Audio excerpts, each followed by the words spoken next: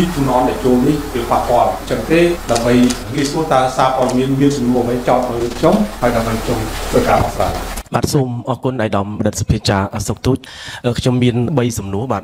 សំណួរទី1តើតើហេតុអ្វីបានជា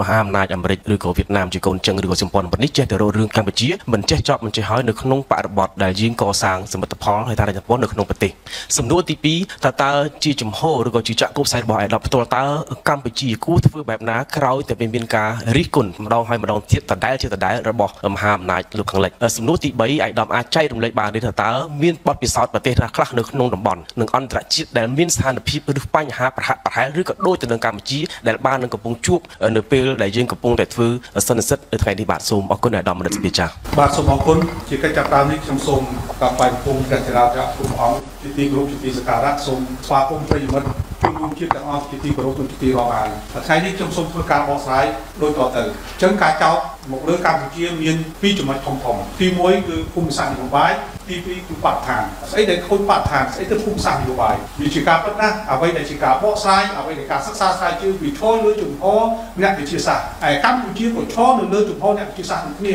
ការឆ្លើយតបបែបអ្នកវិទ្យាសាស្ត្រក៏ទៅឆ្លើយតបទៅកាន់សង្គមទាំងមូលឲ្យបានយល់ដឹងអំពីស្អីទៅប្រេងទីពូននតៃជូនេះដែលយើងរៀបចំនៅពេលខាងមុខនេះទី1តកតទៅលើបរិស្ថានយើងបរិស្ថានយើងសិក្សាប្រាប់ទី1 តើសហរដ្ឋអាមេរិកនៅចាប់បានទេកាលពីសង្គ្រាមត្រជាក់សហរដ្ឋអាមេរិកបានយកជាតិគីមីមករយនៅឥណ្ឌូចិនបារាំងមានកម្ពុជាវៀតណាមនិងឡាវដែលធ្វើឲ្យព្រៃឈើមិនអាចអស់ស្លឹកបានតើមានចាំទេមានចាំទេពិសេសវៀតណាមនឹងតែម្ដងមានបានចាំទេតើកម្ពុជាបានទទួលអ្វីដែលសហរដ្ឋអាមេរិកបានធ្វើកិច្ចការនេះមកលើទឹកដីឥណ្ឌូចិនបារាំងយើងគិតមើលមានកម្ពុជាមានឡាវមានវៀតណាមទី1ទី2ផ្នែកបរិស្ថានផ្នែកបរិស្ថានក៏ដែរ តើសង្គ្រាមនៅមជ្ឈមបូព៌ាសប្តាហ៍នេះដែលកំពុងតែដុតឆេះតើអ្នកគិតពីបរិស្ថានដែរទេមិនត្រឹមតែបរិស្ថានទេប្រហារជីវិតមនុស្សតែមួយប្រព្រឹត្តភ្នែកតើយើងបានគិតពីបញ្ហានេះទេអ្នកសិក្សាស្រាវជ្រាវបានឃើញទេប្រភេទទាំងអស់ហ្នឹងទី3គិតយើងចរន្តពិភពលោកពិភពលោកដែលកំពុងតែប្រើប្រាស់អាវុធគីមីកំពុងតែប្រើប្រាស់បច្ចេកទេសដ៏ទំនើបដែលប្រឆាំងទៅនឹងបរិស្ថានហើយកម្ពុជានិយាយអំពីបច្ចេកទេសឆ្ងាយណាស់និយាយអំពីរោងចក្រឆ្ងាយណាស់ កម្ពុជាមិនបាននឹងចំណិតរបស់មហាអំណាចដែលប្រើប្រាស់រោងចក្រដែលបំផ្លាញបរិស្ថាននៅលើពិភពលោកនោះទេហើយកម្ពុជាក៏មិនទាន់បានប្រើប្រាស់រ៉ែដែលនៅក្នុងដីឬក៏ជុំថ្មឲ្យអស់លទ្ធភាពនោះដែរទេគឺកម្ពុជានៅកម្រិតទាបណាស់តាក់ទងនៅលើបរិស្ថានដូច្នេះចំណុចទី3បរិស្ថានទន្លេមេគង្គបរិស្ថានទន្លេមេគង្គនេះតើកម្ពុជាជាអ្នកបានធ្វើមុនឬក៏កម្ពុជាជាទម្លាប់របស់របស់យើង កម្ពុជាមានព្រៃជីកច្រើនណាស់មានព្រៃច្រើនណាស់តែកម្ពុជាធ្វើពីសម័យដូនតារបស់យើងព្រៃជីកអីព្រៃជីកតាខ្មៅព្រៃជីកតាអុងព្រៃជីកតាតែតើអានោះជប់ពីព្រះឬក៏មនុស្សជីកមនុស្សជីកប៉ុន្តែគឺងំទឹកភ្លៀងផងផងធ្លាក់ទលេមេគង្គឬក៏ងំត្រីបណ្ដាស់ទីពីទលេមេគង្គទៅកាន់ទាំងអស់ហ្នឹងយើងមើលតើមានព្រៃប្រមាណមានស្ទឹងប្រមាណសិតតែឈ្មោះតាតាតាតាហ្នឹងជាអ្នកជីក ចុះរឿងអីសម័យនេះព្រៃជីកគ្រាន់តែពីដើមគេជីកនឹងកម្លាំងមនុស្សតែឥឡូវគេជីកនឹងកម្លាំងគ្រឿងយន្តវាខុសគ្នាតែប៉ុណ្្នឹងទេខុសហ្នឹងអានេះខ្ញុំនិយាយពីខ្មែរចុះឯណាចុះនៅខាងលើមានប្រទេសជាច្រើនណាស់នៅខាងលើដែលធ្វើវារីអគិសនីតើអ្នកបានគិតទេអ្នកបានដឹងទេតើកម្ពុជាគ្រាន់តែជីកព្រៃជីកពូននមួយមិនស្មើនឹងវារីអគិសនីនៅខាងលើមួយទេតើអ្នកបានគិតទេគណៈកម្មការលើមីកុំអានឹងដែលយើងត្រូវគិតពិចារណាទៅលើបរិបរិស្ថាន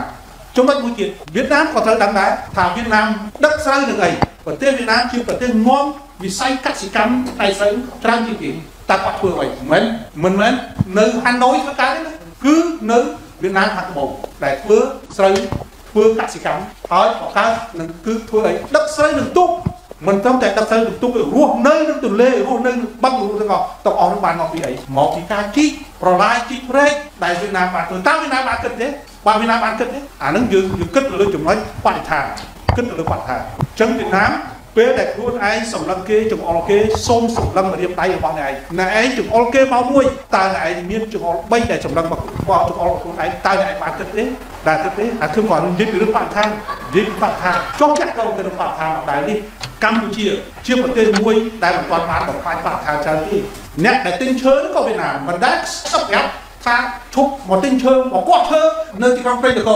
ដូរមកទីក្រុង សៃអនដូរពីសៃអនមកហូជីមិញអាតាអាដើមឈើអស់ហ្នឹងវាចេញពីណាមកអ្នកឯងទិញពីកម្ពុជាបើអ្នកឯងគិតពីបរិស្ថានអ្នកឯងគួរគាត់ពីកម្ពុជាទៅទៅតាមហ្នឹងអ្នកឯងដឹកឈើពីកម្ពុជាច្រើនណាស់អ្នកឯងបំផ្លាញព្រៃឈើកម្ពុជាច្រើនណាស់តើអ្នកឯងបានគិតទេពីបរិស្ថានណាពពេលប៉ះផលប្រយោជន៍របស់អ្នកឯងអ្នកឯងគិតអំពីបរិស្ថានចោះត្រង់អ្នកឯងមកទិញឈើម៉ូតូដឹកទៅទាំងចូលទៅដីនេះអ្នកឯងទៅមើលផ្លូវផ្លូវនៅមណ្ឌលគិរីរតនគិរីកចេះតើចេញឈើប៉ុន្មាន មិនមែនខ្ញុំមិនដឹងខ្ញុំដើរព្រំដែនខ្ញុំដឹងតើអ្នកអាចគិតពីបរិស្ថានហ្នឹងហើយនៅបើអ្នកឯងគិតពីបរិស្ថានអ្នកមានបានគិតអ្នកឯងកាត់ព្រៃឈើបដាំកាហ្វេពីបកគោសុំបដល់បកគោ30អ្នកឯងដាំកាហ្វេទាំងអស់អ្នកកាត់តើអ្នកគិតពីបរិស្ថានទេកន្លែងនេះយើងត្រូវមើលមកនេះទៅលើផ្នែកបរិស្ថានដែលវៀតណាមវាយតបមកលើកម្ពុជាមកលើកម្ពុជាអានេះខ្ញុំនិយាយអំពីបរិស្ថាននិយាយអំពីភូមិសាស្ត្រនយោបាយដែលយើងចោទដល់កម្ពុជាបើប្រៀបធៀបទៅនឹងអ្នកជិតខាងយើងទាំងពីរយើងខ្សោយណាស់ខ្សោយទៅលើប្រព័ន្ធ ភូមិសាស្ត្រនយោបាយដែលយើង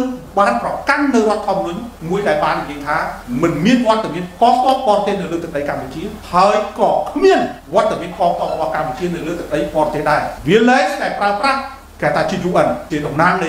អង្គការសន្តិសុខអន្តរជាតិបាននិយាយទៅបាទអញ្ចឹងយើងអត់អាចប្រើប្រាស់ជំរាបពាក់កងទ័ពទៅលើនេះហើយក៏គឺវត្តមានបរទេសនៅលើទឹកដីកម្ពុជាតែការលំហាត់ ប្រទេសណាក៏គេលំហាត់ដែរលំហាត់កងទ័ពពីព្រោះទ័ពត្រូវការលំហាត់ត្រូវការកតបកិច្ចដើម្បីបម្រើមាតុភូមិគេត្រូវការត្រូវការអត់ធ្វើហើយការផ្ដោះដូរវិទ្យាទៅវិញទៅមកសហរដ្ឋអាមេរិកក៏ធ្លាប់ផ្ដោះដូរជាមួយកម្ពុជាចិនក៏ជាមួយកម្ពុជារុស្ស៊ីក៏ជាមួយកម្ពុជាអាទាំងអស់នេះគឺជាការផ្ដោះដូរបច្ចេកទេសនិងបទពិសោធន៍នៅក្នុងបើយើងចោទលើភូមិសាស្ត្រនយោបាយព្រោះកម្ពុជាឆ្លក់នៅក្នុងសង្គ្រាមតាំងពីឆ្នាំ1970រហូតដល់ឆ្នាំ1989ទើបយើងបានបញ្ចប់នៅ នយោបាយគេហៅថាបែងចែកនយោបាយស្បែកខ្លាចឹងកម្ពុជាអត់ចង់ជួបនៅអ្វីដែលជារឿងទស្សនវិជ្ជាភូមិសាស្ត្រនយោបាយតទៀតទេប៉ុន្តែក៏កម្ពុជាប្រើប្រាស់ការចម្រុះពណ៌ដែរបើសិនជាអ្នកឯងប្រើប្រាស់នយោបាយមួយដែលបាត់បង់នៅស្ថិរភាពកម្ពុជាក៏ត្រូវមានស្ថានភាពទប់ទល់ជាមួយជាមួយអ្នកឯងដែរអ្នកឯងប្រើប្រាស់អេសកាវ៉ាទ័រមករំលែកភ្នំកម្ពុជាក៏ប្រើបញ្ជុលអតូបមួយទៅឲ្យផ្ទុះ អេសកាលទៅបានដែរដូច្នេះតែឯងទៅចាំប្រទេសតូចមិនប្រកាសថាមិនមានលទ្ធភាពទប់ទល់ជាមួយអ្នកទេបើសិនជាអ្នកបកមកលើពីព្រោះប្រវត្តិសាស្ត្រយើងបានបង្ហាញចំណុចទី3និយាយអំពីសេដ្ឋកិច្ចសេដ្ឋកិច្ចមាន7ដែលត្រូវការកម្ពុជាត្រូវការប្រតិជនពូនតែជួអាចខាត1យើងដឹងច្បាស់ថាកម្ពុជាត្រូវដឹកផលិតផលទាំងអស់ឆ្លងទឹកដីវៀតណាមនិងទឹកដីប្រទេសថៃឡង់វៀតណាមនិងថៃឡង់អញ្ចឹងមួយបារុងឬក៏មួយបារុង ត្រូវបង់ឲ្យគេប្រមាណត្រូវបង់ឲ្យគេ200ដុល្លារចុះនៅថ្លៃកាត់បរតទៀតទៅចំណាយបាននេះដែលកម្ពុជាត្រូវការត្រូវការប្រគួតប្រជែងតម្លៃទីផ្សារមួយឆ្នាំគេមួយឆ្នាំគេទី2នៅក្នុងផ្នែកសេដ្ឋកិច្ចតើដឹកនឹងរថយន្តដឹកនឹងនាវាអ្នកណាមានប្រសិទ្ធភាពជាងជាការពិតណាស់កម្ពុជាប្រទេសណាក៏ដោយស្រូវ100ឡានបានបានមួយទូខ្វែ2រទេះភ្លើងបានបានមួយទូខ្វែឬ10រទេះភ្លើងបានបានមួយកប៉ាល់ ចុះបើកម្ពុជាជើងមានប្រជាអាចតាក់ទងទៅលើសមុទ្រជ្រៅតើយើងមានលក្ខណៈពិសេសលក្ខណៈពិសេសដ៏ងាយស្រួលបំផុតគឺការដឹកជញ្ជូនឲ្យមានតម្លៃទាបកាលណាតម្លៃទាបយើងអាចប្រកួតប្រជែងនៅលើទីផ្សារបានយ៉ាងងាយស្រួលបានយ៉ាងងាយស្រួលនេះដែលជាលក្ខណៈពិសេសនៅក្នុងធ្វើពាណិជ្ជកម្មទី3ហេតុអីបានជាយើងត្រូវការប្រជាជននោះវាជាការពិតណាស់បើយើងមានប្រជាជននោះមានន័យថាម៉េចអ្នកវិនិយោគគេសម្លឹង មកលើកម្ពុជាឥឡូវគេសម្លឹងទៅលើថៃនិងវៀតណាមពីព្រោះតែឆ្លងកាត់ដឹកជញ្ជូននៅលើតែគេជញ្ជូនគាត់តែថ្លៃដឹកមួយវាអស់លុយមួយចំនួនមួយចំនួនហើយចុះនៅលើលើដាក់ទៅទៅលើនាវាមួយទៀតអស់លុយទៀតហើយអស់លុយចាយពេលវេលាការចាយពេលវេលានេះអត់ទាន់ទីផ្សារព្រោះទីផ្សារវាទៅតាមទិដ្ឋភាពចាស់ស្ដែងកាន់តែលឿនកាន់តែរហ័សកាន់តែនេះចឹងហើយបានយើងឃើញអ្នករត់ដែលមហោបហាយបើតែនេះមហោលឿនទាន់លឿនទាន់ ពេលវេលារហូតដល់គ្រោះថ្នាក់សារាចរណ៍អានភាសាឯងចង់បានលឿនដូចគ្នាកាន់តែលឿនកាន់តែឱកាសគួរប្រជែងនៅលើទីផ្សារហើយទាន់ពេលវេលានេះជាបញ្ហាមួយដែលយើងត្រូវការចំណុចមួយទៀតដែលជាចំណុចសំខាន់នៅក្នុងផ្នែកសេដ្ឋកិច្ចនៅក្នុងផ្នែកសេដ្ឋកិច្ចគឺបើសិនជាយើងមានប្រជាយើងមានសារៈសំខាន់ខ្លាំងណាស់ព្រោះប្រជានេះវាអត់ប៉ះពាល់នឹងទន្លេមេគង្គដូចបឹងទន្លេសាបបឹងទន្លេសាបខ្ញុំជម្រាបជូនទៅគ្រាន់តែទឹកលៀងចូលមកពីព្រោះកម្ពុជាខុសពីវៀតណាមខុសពីប្រទេសថៃយើងជាបាត់ផ្ទះ គ្រាន់តែទឹកភ្លៀងចូលមកក៏គ្រប់គ្រាន់ដែរយកអត់ត្រូវការអីក៏បានដែរធ្វើតែទ្វាទឹកឲ្យតែបានទៅពេលខែភាសាខ្មែរយើងមានទឹកព្រៀបដោយសារតែទឹកភ្លៀងចុះយើងមានប្រើទឹកលីមីកុំទេអត់មានប្រើទេបឹងបួទាំងអស់អត់មានប្រើទេអត់មានប្រើទេគឺយើងប្រើប្រើប្រាស់តែទឹកភ្លៀងទេអញ្ចឹងវាមិនប៉ះពាល់ទៅលើទៅលើនីវ៉ូទឹកទេប៉ុន្តែបាក់របស់សប្តាហ៍នេះសមុទ្រកំពុងតែ មាននីវ៉ូខ្ពស់ហើយវាអាចខិតចូលបានដោយសារអីមិនមែនដោយសារប្រតិពូននដែលចូលនោះទេឥឡូវប្រតិពូននអត់ទាន់បងតាហេតុអីបានជួយកម្លាំងទឹកសមុទ្រផុកចូលមកដោយសារវារីគីសេរីនៅខាងលើនោះហើយអ្នកទាំងអស់នោះមិនក៏មើលផងហើយមើលទៅកម្ពុជាហើយកម្ពុជាអត់តបានជីហើយតែកម្ពុជាមានប្រេងប្រមាណតែវាបានប៉ះពាល់ហើយហ្នឹងប្រេងជីទាំងអស់ហ្នឹងវាអត់តមានប៉ះពាល់ទេប្រេងជីតាំងពីលើមករហូតពីយើងគិតមើលព្រំកន្ទលរវាងកម្ពុជានិងឡាវពីសិនត្រៃមកតើខ្មែរមានប្រេងប្រមាណហើយប្រេងសិនមានឈ្មោះតាតាដែលគាត់ជីដើម្បី យកត្រីចូលទៅក្នុងកងហើយគេអាចមានបឹងមានពាំងមានស្រះខ្មែរយើងសម្បូរណាស់បឹងថាវាថាបឹងមលិចបឹងមលិចវាលិចទៅខែភាសាហើយនៅវិញទៅខែខែប្រាំនឹងដែលយើងយើងគិតមើលទៅលើចំណុចហ្នឹងអញ្ចឹងតាក់ទងទៅលើសេដ្ឋកិច្ចគឺមាន5ចុះតាក់ទងទៅលើប្រវត្តិសាស្ត្រមាន7តាក់ទងនឹងប្រវត្តិសាស្ត្រប្រវត្តិសាស្ត្រទី1នេះជាប្រវត្តិសាស្ត្រសល់ពីដូនតាបើសិនជាកម្ពុជារក្សាបាននៅទឹកដីដ៏អស្ចារ្យប្រហែលជាកម្ពុជាអត់ត្រូវការ ទៅកាយបលាញ់ឬក៏កាយព្រែកឬក៏កាយទេយើងមានផែសមុទ្រ13ធំធំនៅកម្ពុជាក្រោមឬគេហៅវៀតណាមខាងត្បូងនេះដែលយើងត្រូវមើលយើងត្រូវមើលអញ្ចឹងយើងយកទៅការទេបើនិយាយពីប្រវត្តិសាស្ត្រទី2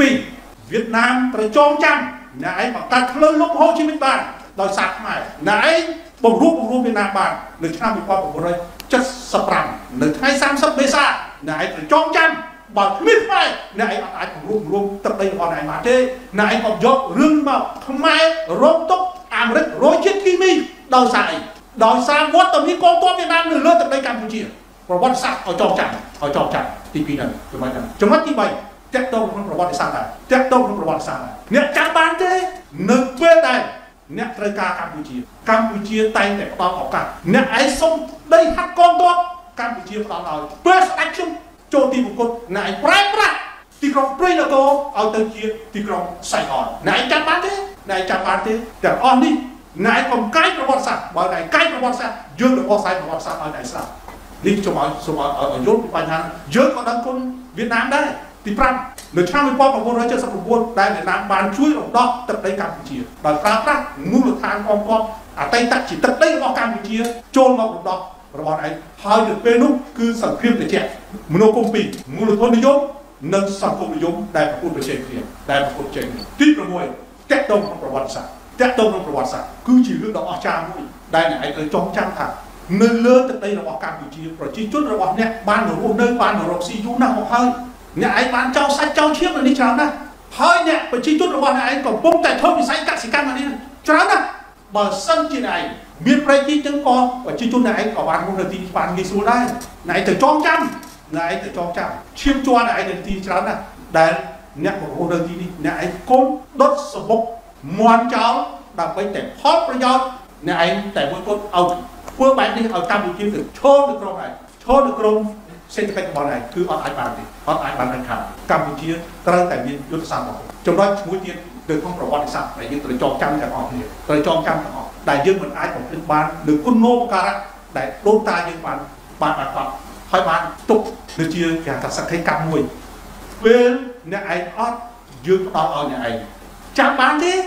ភាសាខ្មែរមួយដែលវៀតណាមអត់ចេះខ្មែរពេលកូនឈឺកូនចង់ធ្វើកូនមកពេលកូនជាពេលកូនគ្រុនកូននេះពេលហ្នឹងប្រជាជនខ្មែរបានផ្ដល់បាយឲ្យអ្នកឯងហូបពួកអ្នកអត់បានទេ ហើយកម្ពុជាក៏ផ្ដល់ដីខែកំពង់សោមឲ្យអ្នកឯងដឹកទាំងស្បៀងអាហារទាំងប្រកកំសែលដើម្បីទៅទប់ទល់ជាមួយអាមេរិកអាមេរិកភ្លេចដែរអាមេរិក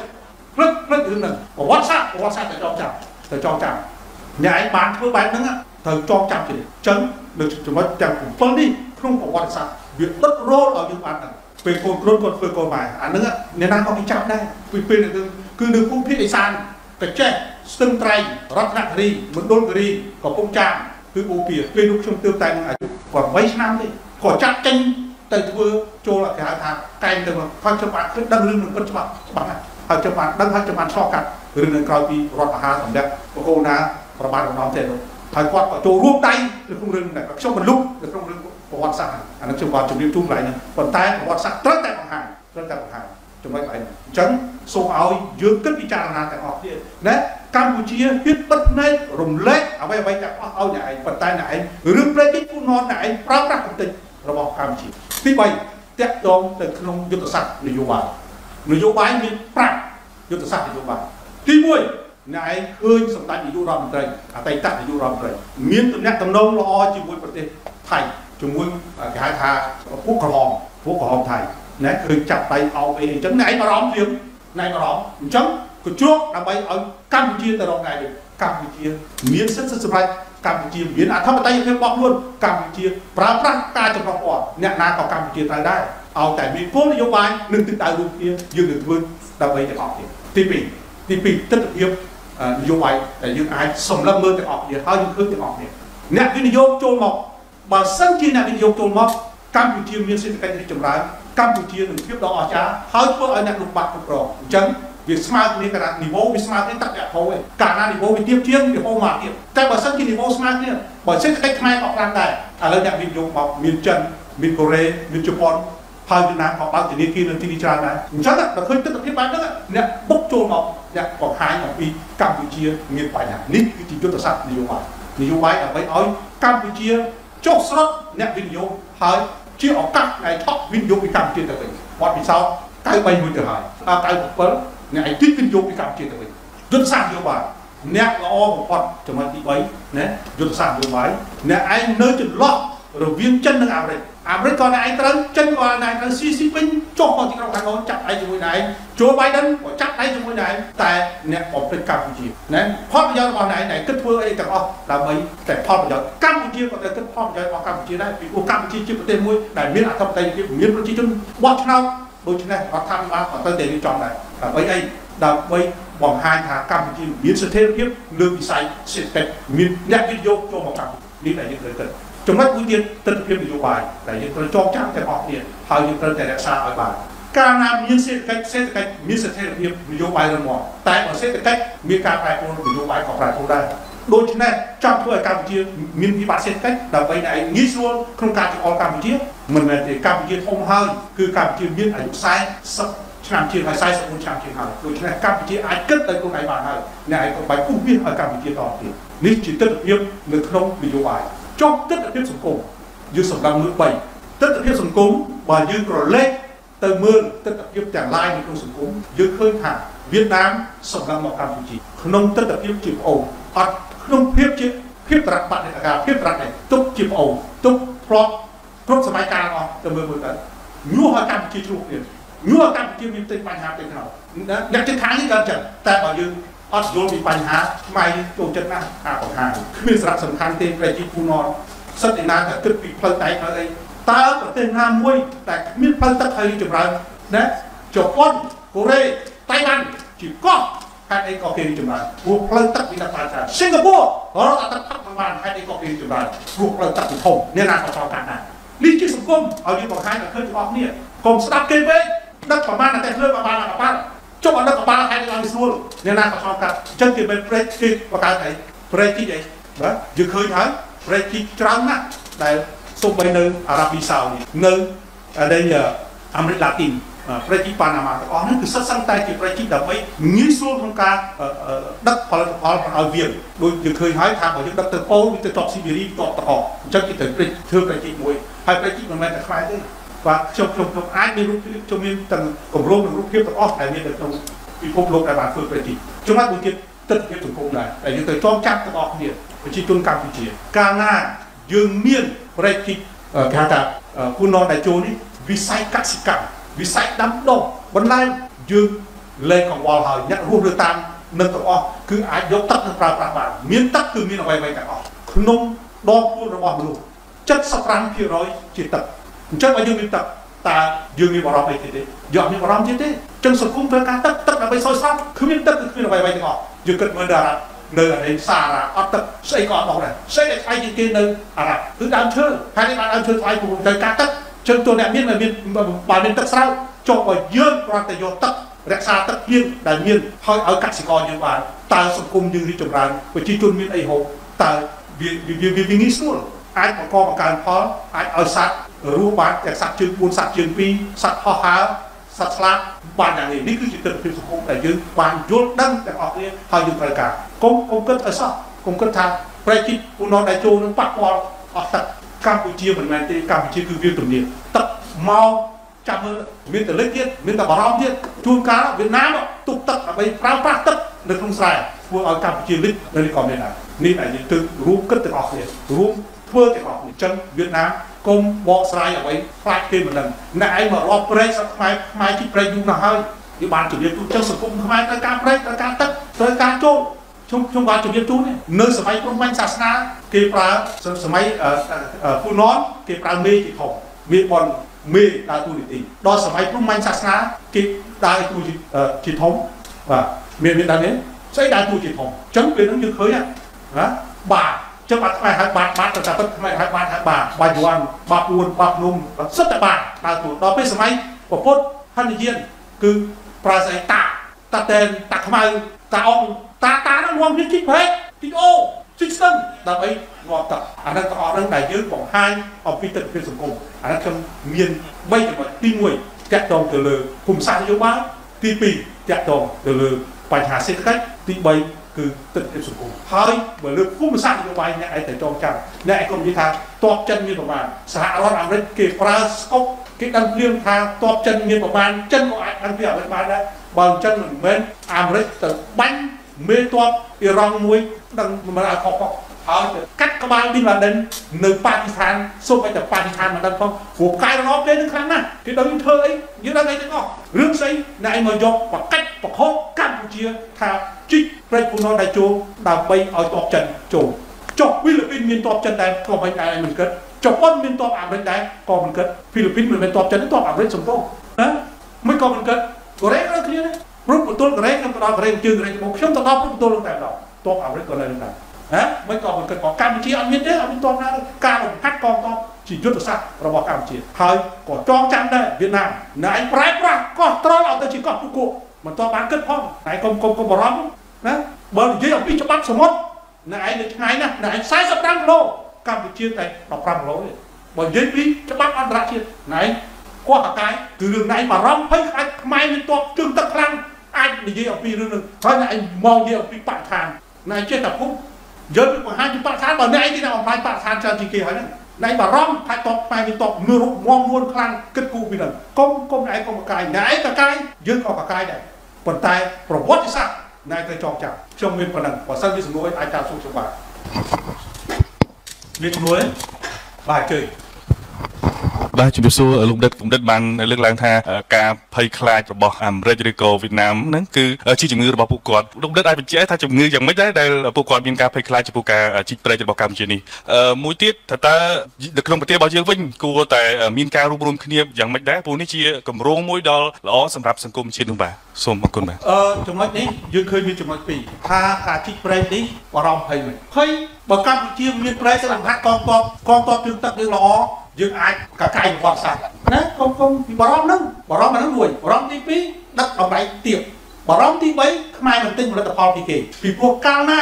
មានទឹកខ្មែរអាចផលិតបានឧទាហរណ៍ខ្ញុំថ្ងៃហ្នឹងផ្ទះខ្ញុំមានទឹកខ្ញុំជីកទៅចំប្រភពទឹកខ្ញុំអាចធ្វើអីបានទាំងអស់អញ្ចឹងកាលណាមានទឹកគឺមានអ្វីៗទាំងអស់ទី2សំណួរទី2ចោទថាតើខ្មែរអាចធ្វើបានទេតាមពិតយើងមានអ្នកវិនិយោគ BOT អ្នកវិនិយោគអ្នកឯងចង់មកកែច្នៃស្វ័យកម្មទីធ្វើរោងចក្រទៅ ហើយឯងខ្លាយទៅលក់ទៅអញ្ចឹងបើឯងចង់បានលុយអ្នកឯងមកជីកមកហើយ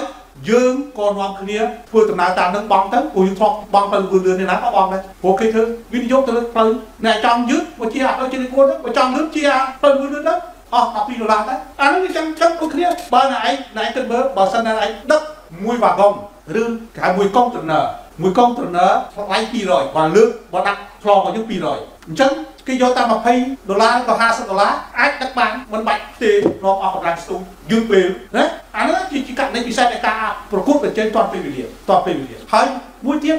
បើពិបាកពេកចង់បង្ហាញប្រកាសចូលលុយនេះជីប្រកាសចូលលុយនេះជីចង់បង្ហាញប្រជាជនកម្ពុជាកុំយកដង្ហើមគេដកទៅដកខ្លួនឯងកុំខ្ចីផ្លូវគេដើរបើបើឡាយវាអត់សមុទ្រអាខ្ចីផ្លូវគេដើរចោះ ចុះមកខ្មែរមានសមុទ្រហើយយើងត្រូវធ្វើខ្លួនឯងយើងត្រូវដើរខ្លួនឯងយើងត្រូវហ៊ានធ្វើខ្លួនឯងដើម្បីផលប្រយោជន៍មនុស្សជំនាន់ក្រោយបើយើងក៏អត់មានសមុទ្រអានឹងវាចឹងណាអត់ទាន់និយាយទៀតទេណាមានអីណាចង់ខាងចុចមកអីកោះកងជារបស់ថៃអីអានេះចង់វាយមកទៅកុំចឹងគេបារម្ភណាស់កាលណាយើងមានផែសវត្ថកម្មតែល្អធ្វើឲ្យយើងដឹកក៏បានល្អយើងលំហាត់កងទ័ពក៏បានល្អបើយើងអត់បើយើងអត់មានទឹកជ្រៅផងតើយើងប្រើកប៉ាល់ធំបានទេនាវាធំបានទេវាអត់បានបើអត់បានគេយកព្រៀបដូចយើងហ្នឹង យយកពីដូចយើងដូចយើងមិនអាចធ្វើអតេកូទៅវាយគ្នាបានទេសម័យនេះទៅបើករកក្រយើងមិនអាចជិះទូកឬជិះក្បូនទៅវាយគ្នាមុនបានទេគឺទៅជិះនេះវាទៅជិះកប៉ាល់ធំធំអញ្ចឹងពួកនឹងវាបារម្ភពេលយើងយើងមានផែទឹកជើងយើងមានកងទ័ពយុទ្ធសាស្ត្រល្អវាជាការបារម្ភខ្មែរសាមគ្គីគ្នាខ្មែររួមរួមគ្នាដើម្បីផលប្រយោជន៍កុំខ្ចីដង្ហើមគេដល់បាទពីជាមួយពីផ្លាយប៉ុណ្ណឹង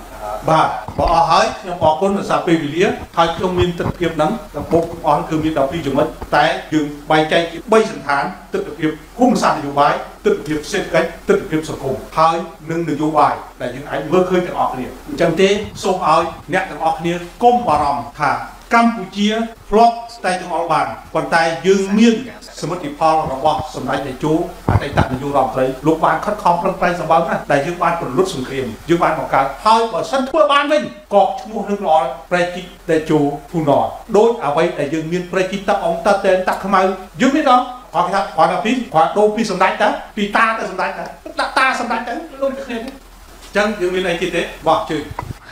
ខ្ញុំមានពីរសំណួរដែរបាទសំណួរទី1គឺថាពាក់ព័ន្ធនឹង Project Funon Dejo នេះដំបូងរដ្ឋាភិបាលវៀតណាមបានបង្ហាញការព្រួយបារម្ភ ហើយយើងក៏បានបញ្យល់រួចហើយដែរប៉ុន្តែពេលនេះអ្វីដែលលើកឡើងដោយរដ្ឋាភិបាលវៀតណាមហ្នឹងដូចជាមិនផលផុសទេតែក៏ស្រាប់តែចេញពីអ្នកសិក្សាស្រាវជ្រាវទៅវិញហើយបន្តដោយប្រព័ន្ធផ្សព្វផ្សាយអាមេរិកទៅទៀតតើអ្វីជាចេតនារបស់វៀតណាមហើយទី2តើប្រតិកម្មរបស់វៀតណាមហ្នឹងអាចរារាំងគម្រោងប្រេជីកហ្វូណនដែលជួបរបស់កម្ពុជាយើងបានដែរឬទេបាទសូមអរគុណសម្រាប់ខ្ញុំខ្ញុំយល់ថាចេះទេណាផលប្រយោជន៍វៀតណាមធំជាងអាមេរិកឆ្ងាយណាស់ប៉ុន្តែគេគេចេះឆក់ឱកាសឆក់ឱកាសវាឱកាសកំទេចឱកាសនិង ពិនិត្យវិจัยយកឱកាសឆក់ឱកាសយ៉ាងម៉េចនៅពេលដែលបារម្ភអាមេរិកបារម្ភចិនចូលមកបារម្ភបារម្ភ3បារម្ភចិនចូលមកទី2បារម្ភចិនបង្កើតសក្តានុពលសេដ្ឋកិច្ចបារម្ភទី3យុទ្ធសាស្ត្រគេអាចដាក់កែតំណងអាចតាក់ទាញទៅតាមយុទ្ធសាស្ត្រនៅក្នុងអាស៊ីអាគ្នេយ៍បានយ៉ាងងាយស្រួលដែលធ្វើឲ្យមានការគ្រប់គ្រងបញ្ហានេះងាយស្រួលរបស់ចិនអញ្ចឹងការបារម្ភអញ្ចឹងដល់ឃើញបារម្ភបារម្ភបែបហ្នឹងវៀតណាមឆក់យកភ្លាមគេឆក់កាត់យកឆក់ទៅគេចំណេញ3ចំណេញទី1 គេអត់ចង់ឲ្យយើងមានផែទឹកជ្រៅគេធ្វើធ្វើពាណិជ្ជកម្មចំណុចទី2គេអត់ចង់ឲ្យយើងមាននាវាកម្រិតជ្រៅដើម្បីធម្មតាកម្ពុជាក៏អាចទិញនាវាល្អបាននៅពេលដែលមានទឹកជ្រៅយើងមិនអាចទិញនាវាបើយើងមានតែអូយកនាវាទៅបាត់ក្នុងអូស្ទឹងបានតែបើយើងមានទឹកជ្រៅយើងក៏អាចទិញនាវាបានចឹងការបារម្ភរបស់គេទី3ស្អីដែលគេបារម្ភបារម្ភនៅពេលដែលយើងមានសមត្ថភាពគ្រប់គ្រាន់យើងមានលទ្ធភាពគ្រប់គ្រាន់យើងមានសក្តានុពលដ៏អស្ចារ្យមួយគេថាប្រវត្តិសាស្ត្រទូឡើងអញ្ចឹងការបារម្ភរបស់គេគេឆក់ឱកាសចាក់ឯជាមួយអាមេរិកហើយមួយទៀត គេចង់បង្ហាញយកបញ្ហាទៅវាយដើម្បីឲ្យរលកនយោបាយហើយឲ្យពួកប្រចាំប្រទេសពួកអឺរ៉ុបពួកអាមេរិកមិនចង់ទិញផលិតផលរបស់កម្ពុជាដោយគុំពាត់ផ្លក់គុំពាត់អីដែលកើតមកហើយអញ្ចឹងកម្ពុជាឱកាសហ្នឹងគឺគេយកអាហ្នឹងដើម្បីឲ្យកម្ពុជាចុកខ្សោយហើយគេចាប់ដើមពង្រឹងសមត្ថភាពរបស់គេឲ្យយើងខ្ចីដៃគេជ័យចំពោះគេដកដដែលដូច្នេះខ្ញុំជឿជាក់ថា កម្ពុជាក្នុងករណីណាមួយយើងក៏អាចរស់បានដែររស់ដោយពឹងទៅលើសមត្ថភាពរបស់ខ្លួនហើយយើងត្រូវតែហ៊ានធ្វើត្រូវតែធ្វើខ្ញុំមិនមែនរដ្ឋាភិបាលទេក្នុងនាមខ្ញុំជា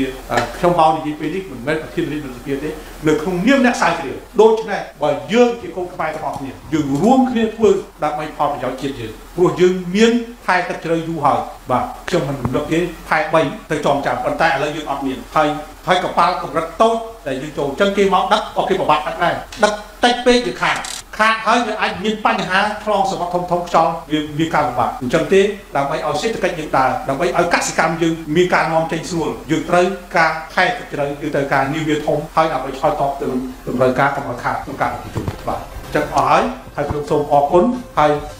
សង្ឃឹមថាពេលវេលានិងការបកស្រាយរបស់ខ្ញុំខ្លីហើយអាចយកទៅប្រើប្រាស់ទៅតាមសេចក្តីត្រូវការហើយសូមជូនពរឆ្នាំថ្មីជោគជ័យគ្រប់គ្នាគឺសេចក្តីស្រឡាញ់ស្នាមនិយមនិងមានសុខភាពល្អសូមអរគុណ